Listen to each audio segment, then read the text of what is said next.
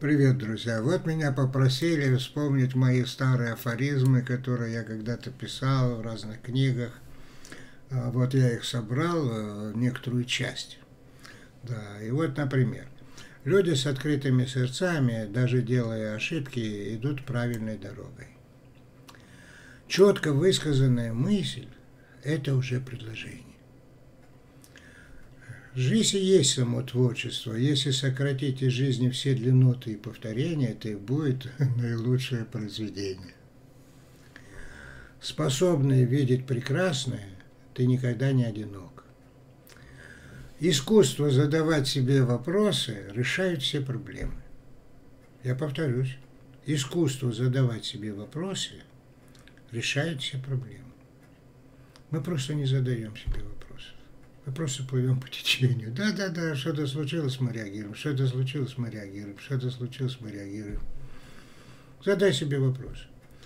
Например, что-то тебе хочется сделать. А ты задай себе вопрос. А почему? Почему ты это хочешь сделать? Подумай немножко. Ну ладно, там еще афоризмы. Давайте так. Когда я с друзьями, я снова как дома. Ну да, это конечно. Так, а встреча с личностью – эпоха в жизни.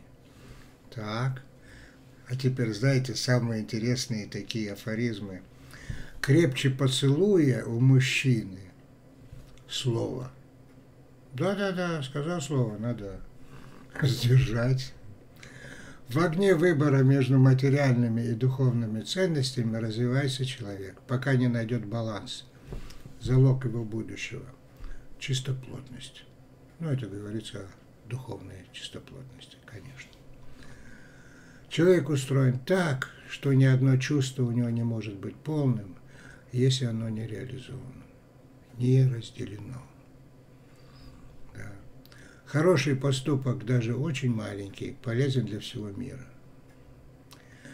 Люди с открытыми сердцами, повторяю, даже делая ошибки, идут правильной дорогой и мы создаем науку человечности.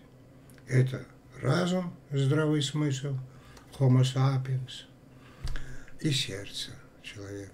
Да, конечно, открытые сердца – это человечность. До встречи, друзья.